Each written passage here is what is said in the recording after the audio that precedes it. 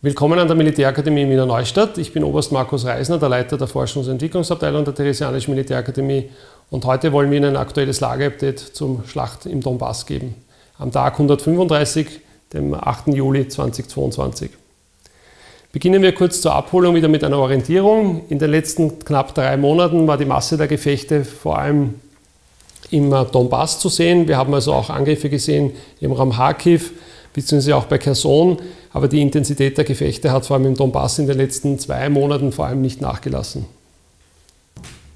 Schauen wir uns nun die letzten drei Monate noch einmal im Detail an. Beginnen wir mit Anfang April. Anfang April war die Situation die, dass die russische Seite die Kräfte aus dem Raum Kiew in den Osten verschoben hat im Eisenbahntransport und dort mit den Vorbereitungen für die Schlacht um den Donbass begonnen hat.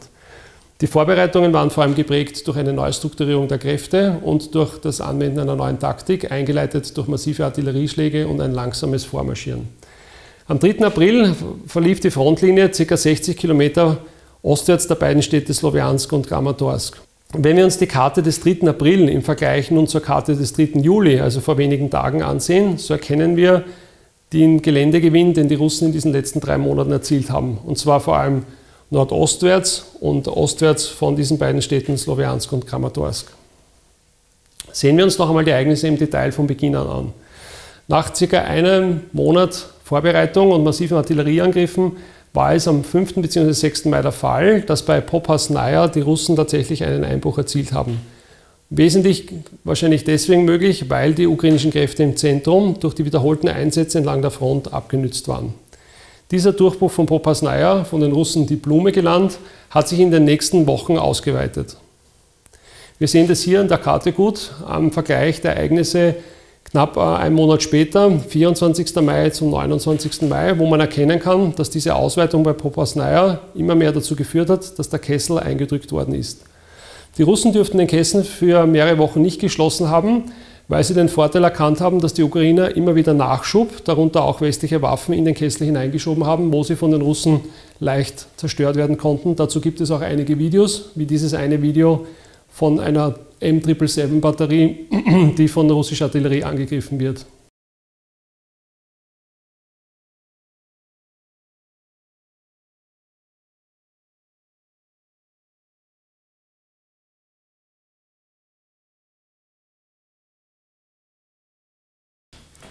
Wenn wir dann in den Juni hineinspringen, dann sehen wir, dass sich langsam zwei Kessel gebildet haben. Einmal quasi südlich von Severodonetsk und einmal bei Lysychansk. Einmal hier in diesem Raum Solote und nordostwärts davon.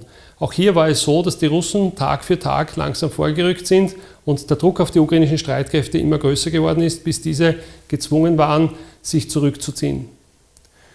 Schlussendlich war es dann so, dass die Russen es geschafft haben, was sie in den letzten Wochen mehrmals versucht haben, tatsächlich eine Übersetzstelle über den Seversky Donetsk zu errichten und somit von zwei Seiten gleichzeitig angegriffen haben, was dazu geführt hat, dass die ukrainische Seite begonnen hat, sich aus dem Kessel abzusetzen. Dass es dabei ziemlich hektisch zugegangen ist, zeigt uns das folgende Video, wo man sieht, dass die ukrainischen Soldaten zwar nicht ihr schweres Gerät, aber ihr eigenes Leben zumindest aus dem Kessel retten konnten. Все горить. Спасіння і ззаду. Да. Давай йди. Я більше сюди не поїду. Am 3. Juli 2022 war es dann soweit. Tatsächlich gelang es den Russen, auch die zweite Stadt Lysychansk einzunehmen. Und hier an diesem Bild im Zentrum der Stadt und auch an den Fahnen erkennbar haben wir einerseits die Fahne Russlands, die Erinnerungsfahne an den großen Vaterländischen Krieg, die Fahne quasi, die über dem Reichstag in Berlin gehisst worden ist und die Fahne der Teilrepublik Luhansk, äh, kann man erkennen, dass sie diesen Sieg natürlich in der gleichen Art und Weise gefeiert haben wie Mariupol. Die Frage ist, wie geht es jetzt weiter? Wenn wir uns jetzt noch einmal den Donbass ansehen, so erkennen wir, dass die Ausmaße des Donbass sehr groß sind, beziehungsweise wenn wir so weiter zurück in den Westen schauen, dass also hier noch eine große Distanz zu überwinden ist. Der Kessel von Lysychansk und Severodonetsk, der von den Russen eingenommen worden ist, hatte ein Ausmaß von ca. 40 mal 40 Kilometern. Also relativ klein, wenn man die Größe des gesamten Bereiches betrachtet. Die Frage ist natürlich, wie wird sich der nächste Ansatz der Russen jetzt darstellen? Wir werden jetzt wieder vier Faktoren hernehmen, nämlich das Gelände, die Zeit, Information und Kraft, um eine kurze Analyse anzustellen. Die erste Frage nach dem Gelände. Wenn man sich in das Gelände des Donbass hineinversetzt, so erkennt man, dass es zwei günstige Verteidigungslinien gibt. Eine Verteidigungslinie läuft von Siversk Richtung Bakhmut. Das ist auch jene Linie, wo die ukrainischen Kräfte aus dem Kessel jetzt zurückgegangen sind. Die zweite Verteidigungslinie in der Tiefe, die sich vor allem deswegen günstig darstellt, weil sie äh, wie eine Perlenkette urbane Räume aneinanderreiht, geht von Sloviansk, Kramatorsk bis hinunter nach Tortesk. Auch diese Verteidigungslinie würde sich für eine Abwehr des weiteren russischen Angriffes günstig erweisen. Die Frage ist, wie viele Kräfte konnten die ukrainische Seite tatsächlich aus dem Kessel herausziehen und wie viele Kräfte haben sie in der Tiefe jetzt im Einsatz, um den möglichen Vorstoß der Russen abwehren zu können. Die zweite Frage ist die der Zeit. Wir sehen hier ein Bild äh, des Besuches von Sergei Shoigu in Donbass bei den russischen Truppen. Auf diesem Bild ist interessant, wir sehen Gennady Sitko, das ist der zurzeit führende Kommandeur der russischen Truppen im Einsatz, der Nachfolger von Alexander Dvornikov. Und er führt im Prinzip zwei äh, Manövergruppen, einerseits geführt durch Alexander Lapin und Sergei Surovikin. Dieses Bild ist deswegen wichtig, denn es zeigt, dass die Russen eine klare Führungsstruktur haben. Einen Kommandant über alle russischen Truppen im Raum, beziehungsweise untergeordnete Kommandeure, einmal für den Donbass und einmal für den Süden und den Osten des Raums. Wenn die russischen Truppen, die jetzt vorfühlen in Richtung Westen, erkennen, dass die ukrainischen Streitkräfte keine durchgehende gefestigte Verteidigungslinie haben, dann werden sie den Erfolg ausnützen und weiter Richtung Westen ansetzen. Das heißt, es kann also sein, dass es gar nicht zu einer operativen Pause kommt, sondern dass die Russen versuchen, den Erfolg äh, des der Schließung des Kessels weiter auszunützen. Die nächste Frage, die wir uns stellen müssen, ist, wo und wie erfolgt dieser Ansatz? Es kann also sein, dass es durchaus einen frontalen Ansatz gibt über diese zwei Verteidigungslinien, die wir vorher im Gelände angesprochen haben. Es kann aber auch sein, und es spricht einiges dafür, denn es gibt Berichte von Kräftezusammenziehungen im Raum nördlich des Donbass, dass man versucht, in der Tiefe diese Verteidigungslinien zu umfassen. Das wäre wieder ein weiter Stoß in die Tiefe, der natürlich das Problem mit sich bringt, möglicher offenen Flanken. Aber er würde wenn die ukrainischen Streitkräfte tatsächlich geschwächt sind, den Russen die Möglichkeit geben, diese Operationsführung wesentlich zu verkürzen. Wie es tatsächlich sich darstellt, werden wir in den nächsten Tagen und Wochen erleben. Die letzte Frage, die wir uns stellen müssen, ist das Kräfteverhältnis, das ganz entscheidend ist für die Einsatzführung von beiden Seiten. Hier ist interessant, dass wenn wir auf diesen Bildern uns ansehen, das Verhältnis sich immer mehr zugunsten der Russen verschiebt. Warum? Vor der Schlacht um den Donbass, also vor knapp zwei Monaten, beziehungsweise am Beginn des dritten Monats, also mit den Vorbereitungsmaßnahmen, war es so, dass die Ukraine ein Verhältnis hatte von ca. 81 Bataillonsäquivalenten versus 93 auf der russischen Seite. Diese Zahlen sind im Detail von den Experten umstritten, aber das ist die Zahl, auf die man sich unisono zu diesem Zeitpunkt geeinigt hat. Jetzt sieht es so aus, als ob die russische Seite weiter verstärkt worden ist in den letzten Wochen um zumindest 15 bataillonstaktische Gruppen, während auf der anderen Seite die ukrainische Seite zunehmend abgenützt worden ist. Das heißt, wir haben also ein Verhältnis von 60 Bataillonsäquivalenten zu 108 bataillonstaktischen Gruppen. Natürlich muss man berücksichtigen, dass beide Seiten Verluste erlitten haben und dass diese Bataillonsäquivalente möglicherweise nicht die volle Stärke haben. Aber man sieht, dass die ukrainische Seite Schwierigkeiten hat, zusätzliche Kräfte heranzuführen und die russische Seite offensichtlich immer noch aus Russland Kräfte und nicht nur Material, sondern auch Personal nachschieben kann. Die Frage ist, die Waffensysteme, die bis jetzt geliefert worden sind, haben sie tatsächlich einen Effekt erzielt? Wir wissen, dass mechanisierte Kräfte, vor allem also Kampfpanzer geliefert von Polen und Tschechien, man nimmt an, dass ca. 250 Stück jetzt insgesamt geliefert worden sind, tatsächlich auf dem Gefechtsfeld eingesetzt werden jedoch auch erbeutet und zerstört werden. Interessanter ist der Einsatz der Artillerie. Hier wurden zwar nur wenige Systeme geliefert, aber man erkennt, dass vor allem der Einsatz des Systems HIMARS, von dem zumindest vier sich schon im Raum befinden, aber auch zum Einsatz der Einsatz der weitreichenden Panzerartillerie, wie zum Beispiel dieses polnische System Krab oder die deutsche Panzerhaubitze 2000, sehr wohl einen Effekt erzielen. Man erkennt es unter anderem daran, dass die deutsche Panzerhaubitze 2000 endphasengesteuerte Munition verschießt, wie diese Smart 155, die sehr wohl zu spektakulären Erfolgen beitragen kann. Besonders bemerkenswert ist der Einsatz des amerikanischen HIMARS-Systems. Dieses System ist ausgestattet mit einer speziellen Munitionssorte, die offensichtlich bereits erfolgreich vor allem gegen die russischen Munitionsdepots eingesetzt worden ist. Hier gibt es Indizien dafür, dass es zu Angriffen auf Munitionsdepots in Russland, aber auch in der Ukraine gekommen ist, zum Beispiel bei Melitopol.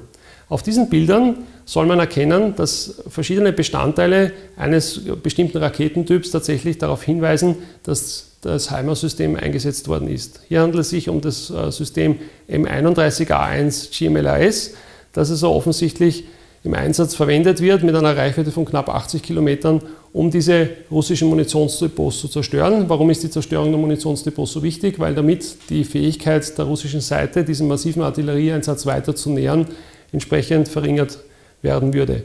Auf dem nächsten Video zeigen wir Ihnen ganz kurz die Auswirkungen eines derartigen Angriffes auf ein russisches Munitionsdepot.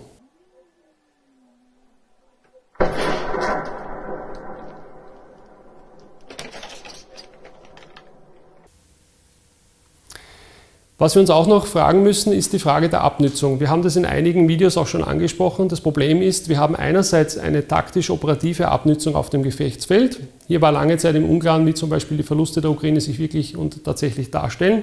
Und hier ist es bemerkenswert, dass einige hohe ukrainische Offiziere, unter anderem dieser Brigadegeneral, vor kurzem zum Ausdruck gebracht haben, dass sie sehr wohl sehr schwere Verluste erlitten haben. Wir können das an seinen Zitaten erkennen. Also insgesamt 50 Prozent Verluste der Streitkräfte insgesamt. Über 1300 Schützenpanzer, 400 Panzer, 700 Artilleriesysteme. Er hat sogar ganz gezielt angesprochen die Wirkung des amerikanischen M777-Systems wo er sagt, dass das Problem ist, dass die Batterie oft nur ein, zwei Schuss äh, an den Feind bringt, dann aber sofort vom russischen Gegenfeuer beschossen wird und dass dazu zu Schäden kommt, die dazu führen, dass die Geschütze nicht mehr eingesetzt werden können und zurückgeführt werden müssen, zum Teil nach Polen, um dann dort wieder instand gesetzt zu werden. Das Zweite, viel wichtiger ist aber die strategische Abnutzung, der die Ukraine zu leiden hat. Auch hier hat der Präsident vor kurzem gesagt, am 9. Juni, und diese Zahl hat sich bereits erhöht, dass bis jetzt um die 2600 Marschflugkörper und ballistische Raketen gegen Ziele in der Ukraine eingesetzt worden sind. Man sagt, dass viele dieser Raketen möglicherweise ihr Ziel nicht treffen. Die Masse tut es, wie uns die Videos, die wir jeden Tag und jede Nacht sehen, zeigen. Und das Problem ist, dass die Ukraine hier natürlich massiv abgenützt wird.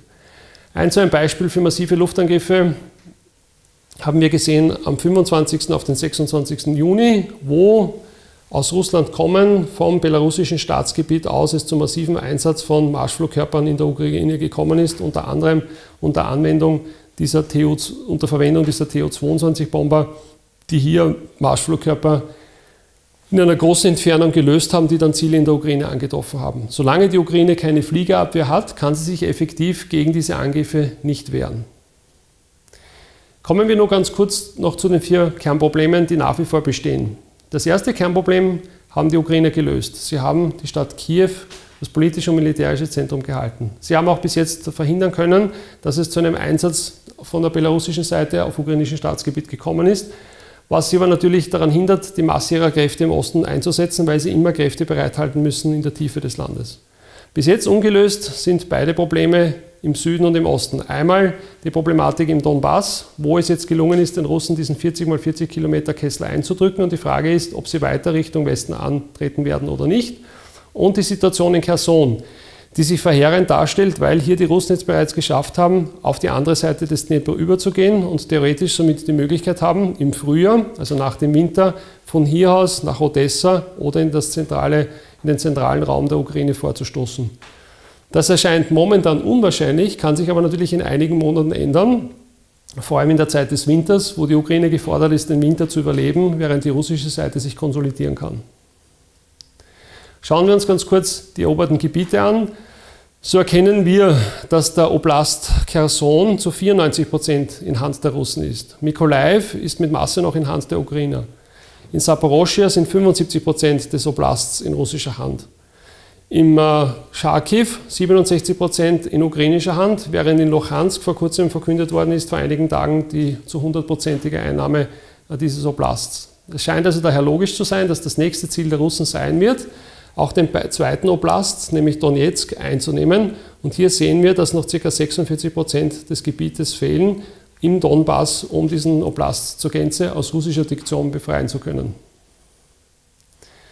Die Frage ist also, wie wird sich die Front in den nächsten Wochen und Monaten darstellen? Und es scheint sehr wahrscheinlich, dass vor allem der Donbass, aber auch der Raum Kherson eine entsprechende Bedeutung haben wird.